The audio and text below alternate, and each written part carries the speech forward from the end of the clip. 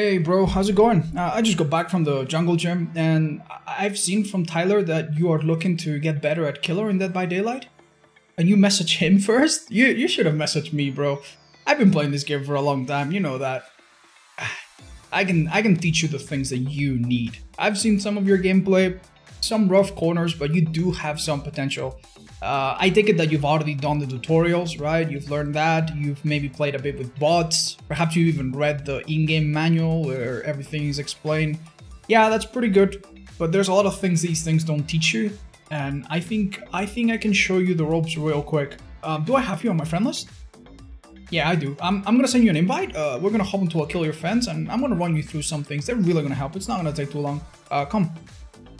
All right, it's the start of the match, and if you leave them alone, survivors are gonna spread out, begin to hide, and even work on multiple generators. We don't want that. So the moment you spawn, try to locate the furthest point possible away from you.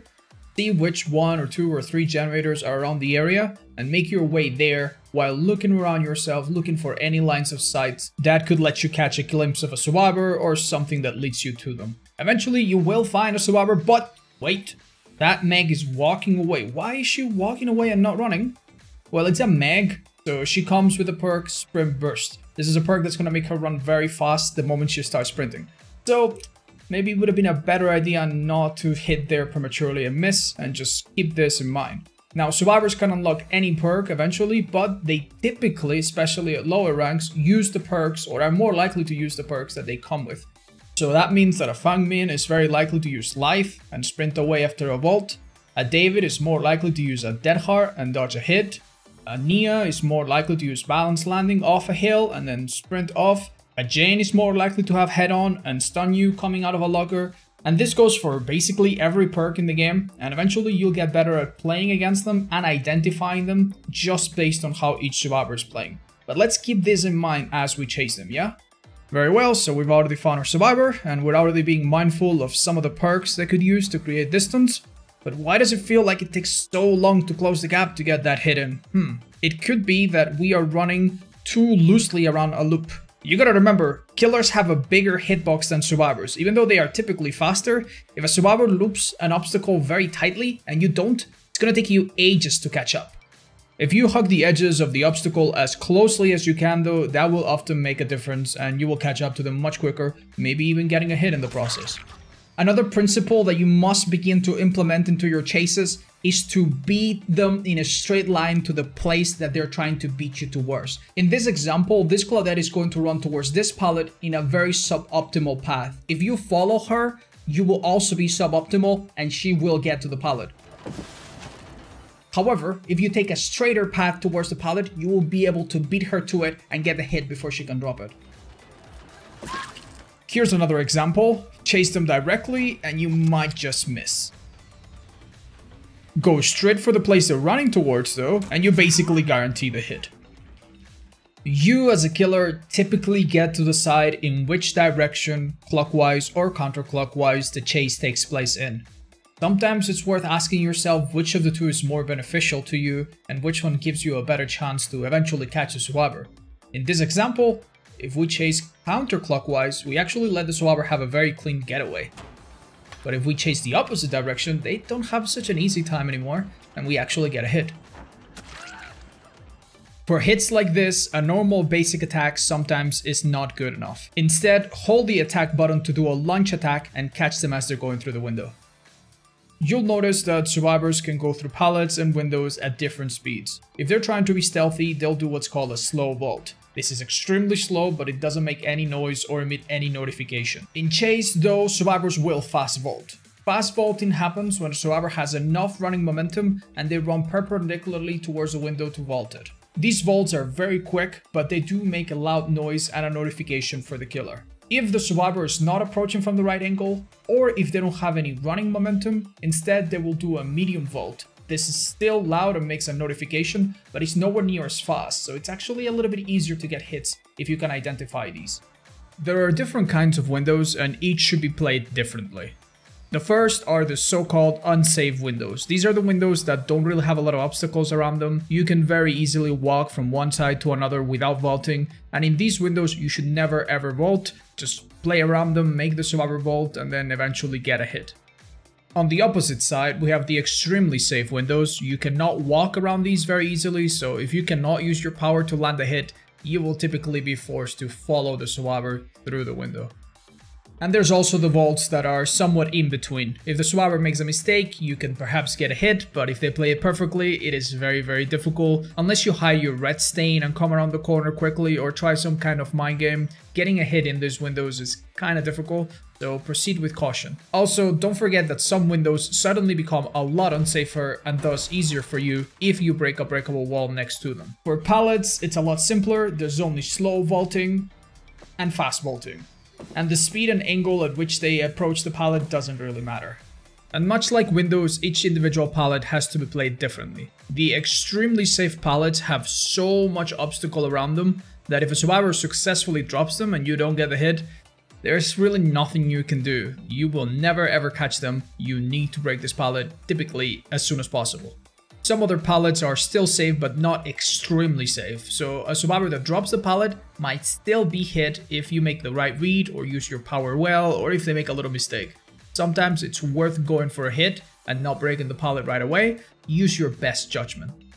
And then we get to the extremely unsafe pallets, which basically have no obstacles around them. Once they are dropped, you don't really need to prioritize breaking them, as you can still easily get a hit around them. These are the only pallets where you should actually be afraid of getting stunned, because if you do get stunned, the survivor might actually be able to escape to another safer area. Every other pallet, you shouldn't really be too afraid of getting stunned.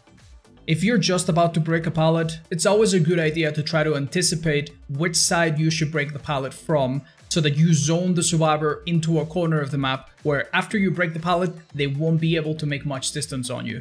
In this example, I am able to down this Claudette because I broke the pallet from a particular side, but if I had been chasing from the other direction and broke the pallet from the other side, she would have had no problem escaping me. Some smart survivors might sometimes fake vaulting a pallet or a window, and you could fall for these. One little trick that you might find useful is if the survivor is holding an item and they do commit to the animation, the item will immediately disappear. So this is your signal to know that they're already vaulting and to commit to the attack if it's not too late. Occasionally, even survivors that are completely in the open will try to do some tricks to make you miss. And the answer to these is typically to be patient. If they are injured and you haven't seen them use another exhaustion perk prior to this, it's possible they might try to dead hard last second. Just wait a little bit, then hit them. Some desperate survivors might also try to spin to make you whiff, but if they're in the open, just get closer to them and do a normal attack instead of a lunge, and you should get them every time. Sometimes, for one reason or another, you might lose sight of a survivor. At that point, you have to look at scratch marks, blood, and anything in the environment such as crows to let you know where that person went. If you track these things closely, you will typically find them sooner or later. You don't want to be like XQC in this clip.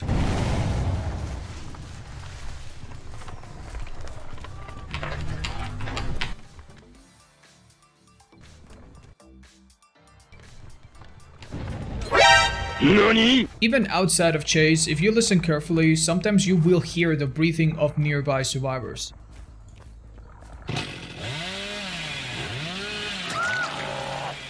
Or even very subtle grass sounds. An injured survivor will typically have a harder time hiding since they make a loud noise at all times. But don't forget that some survivors use the perk from Jake called Iron Will, which makes them completely silent when they are injured. Eventually, at the end of your chase, you will down the survivor and be ready to pick them up, but at this time you should keep your guard up. If a survivor is being picked up next to a pallet, a teammate could drop it at the perfect time to rescue them. Typically, you can avoid this by picking up a survivor quick before they can crawl under a pallet or before the teammates arrive, but if you think it's already too late, you can always chase them off for a little bit and that should be enough for you to get a safe pickup. Survivors with a flashlight can also try to blind you at the perfect time to rescue their teammates. Since they need to be in front of you to blind you, you can always bait them and try to go for an easy hit on them or just get into the habit of picking up survivors facing the nearest wall, or at least looking away from where you think most survivors will be, as this will rob them of the ability to get in front of you quick enough to get the flashy save. Remember that you move quite slowly when you carry a survivor, and they could wiggle out in time, so don't take them too far as to not to waste time. However, it's not a crazy idea to go slightly out of your way to hook a survivor next to a generator. That's not been done yet. Or put them in the basement if you think you can defend it and it's a good idea to stay there. Alternatively, if all the generators have already been done, try to avoid hooking survivors next to a gate that's already open or about to be open, and make it difficult by dragging them further into the map. Borrowed Time is a very popular perk from Bale that will protect a recently unhooked person for 12 seconds. If during this time you try to damage them, you're not gonna down them, in fact they'll get a speed boost from your hit, and at the end of the game, that might mean that they all get to escape. To avoid this situation, try to go for the unhooking survivor who's not protected, or wait out the 12 seconds and then strike the survivor. Additionally, recently unhooked survivors will often also run the other popular perk, Decisive Strike from Laurie Strode. This perk lasts for a whole minute, 60 seconds, unless they touch a generator heal other people, or do some kind of objective, in which case it is temporarily disabled. But for that one minute they are protected, as if you pick them up in any way, they can hit a skill check and escape your grasp and stun you for a few seconds, which is really really powerful, and this disables the perk for the rest of the match for that one whatsoever. This perk encourages the killer to switch targets and go for other survivors, but if you have absolutely no choice, you could always wait out the 60 seconds. Sometimes you will be leaving one or even multiple survivors on the ground instead of picking them up right away. This is what some people call slugging. And sometimes slugging is the right idea. You can leave survivors on the ground to outweigh their perks, to get something done quickly, to maybe go for the final standing survivor and end the game right there and then. But do be careful because survivors don't always stay on the ground. A regular survivor will take a little over 30 seconds to fully recover to 95% and at this point they need help from someone else to get up. However, a survivor with the perk from Bale called Unbreakable can actually pick themselves up in just a little over 20 seconds. So if you are going to slug, make sure you understand the risks and try not to do it for too long. And one thing that we haven't discussed is whether or not you actually want to commit to a chase. Sometimes a chase will take up much of your valuable time and give you nothing in return. In these cases, you really want to drop the chase as soon as you realize it or just not start it in the first place. Let's have a look at some of the outcomes that can happen as a result of a chase. In the best case scenario, you get a down on a survivor, either because you insta-down them with your power or they were already injured. If you can get a down, even if it takes a little while, this is really, really good. You're gonna get a hook and maybe that person eventually will be dead. The next best thing is to injure a healthy survivor. This will probably mean that the next time you catch them, they will be downed and generally is a really, really good thing if you can do it quickly. Sometimes you won't be able to get an injure, but at least you will force him to drop a pallet. And after you break the pallet, the pallet is gone, and it means you're making progress. If you can injure a survivor or break a pallet within 15 or 20 seconds, you're probably making good progress as a very general rule of thumb. If it's taking you more than that, it might be a good idea to just drop the chase and perhaps consider doing something else. Sometimes you won't even be able to get a pallet out of them, but you will force them to use their exhaustion perk. And this could be useful if you catch them shortly afterwards and they cannot use it again. Sometimes all you'll be able to do is just push and displace a survivor off of a good position and force them to take a little bit longer to get back to it and that is also a decent outcome if you can do it quickly. And sometimes for one reason or another you will absolutely get nothing out of a chase. You will go after a survivor, they will use windows very well against you, maybe they'll be in a very strong structure where you literally are making zero progress and if that happens it's just time to leave them. If you notice that the survivor that you're chasing is particularly good and stands out for being much much harder to catch than the others, there's absolutely no shame in leaving them and going for someone else. Anytime you have a choice on who to chase, try to keep this hierarchy in mind and try to disrupt as many survivors as possible while they are doing objectives. If you can get a down on two survivors or injure two survivors or injure one but force another one to get a pallet, anything at all that disrupts multiple survivors at once, that will do wonders for your ability to slow down the game. Another very important factor that you might want to take into consideration when choosing which survivor to go for is which survivor is closest to being dead. It's generally a good idea to focus on two or three survivors to hook repeatedly back and forth and get one of them killed early. If you hook all four survivors indistinctly, you might actually find yourself at the end of the game with all survivors alive, and that can be tough to handle. But one way or another, some of your games will be tough, so for that maybe you should check out that one video I made some time ago, the one with more advanced tips. You might want to watch it now if you feel prepared or leave it for later. And of course, you'll have to pick a killer to start with, and they all play a little bit different. Personally, I recommend that you start with a cannibal. He's a rather simple killer, and his perk barbecue and chili is very important. But perhaps you'll want to play another killer here. I'm gonna link you up. In this video, I give tips for every single killer if you want to check it out. Uh, but yeah, that, that's all. Can I help you with something else?